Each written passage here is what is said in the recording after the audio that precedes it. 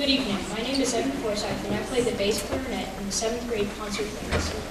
Our final selection this evening is Invincible Warrior by David Chamberlain.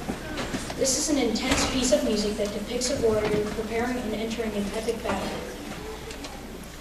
You will notice a strong presence of rhythmic percussion and memorable woodwind and brass melodies. We have enjoyed playing for you this evening, and we hope you have enjoyed Invincible Warrior.